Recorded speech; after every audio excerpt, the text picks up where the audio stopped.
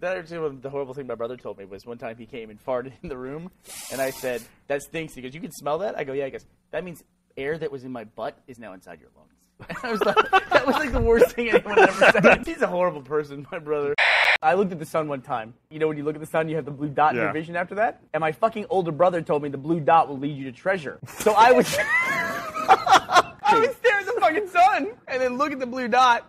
And I really had an opinion in my mind that when the blue dot would disappear and I hadn't found the treasure yet, that I wasn't good enough at it. So I'd stare at the sun longer. My fucking mom comes out, at in the front yard, fucking half blind, like staggering after, after nothing, just going, wait, wait, wait, wait. My fucking brother had strikes again. I'll tell you something else my brother did to me that was torturous. I'm in the driveway of our house. I go, look, look how close my finger is to my thumb, but they're not touching. And he goes, don't move. And I said, what? He goes, that's the closest anyone's ever gotten, ever. I'm gonna go in the house, I'm gonna call Guinness Book of World Records. Don't move. I must have fucking sat in that driveway for an hour. And finally, I couldn't hold my arm up anymore. I'm crying. I go in the house, and he's watching fucking TV. I go, "Where's Guinness Book of World Records?" He goes, "You're stupid." I have something I'm really embarrassed to admit about television, and that is for too long. I thought that when you turned off TV, it stopped.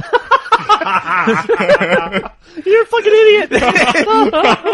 and for years, I was so mad at my brother because I was like, "When did you turn on the TV?" He's like, "What are you talking about?" I said, "It was, you know, whatever was on TV, you know, Super Friends," and I shut it off. I know because Superman was talking to Wonder Woman, and Mom had me go do something, and I shut it off. So you must have turned the TV. off. Because you're a fucking fool. So I watched all of Dawn of the Dead. That was what made me afraid of zombies. And it probably was because at the end of the movie, we're sitting there, and my older brother turns to me and goes, You know that really happened, right? I said, What? He goes, Yeah, that really happened. That's a true story, and that's what this is based on. He goes, The army fixed it, but they don't know what caused it. It could happen again anytime.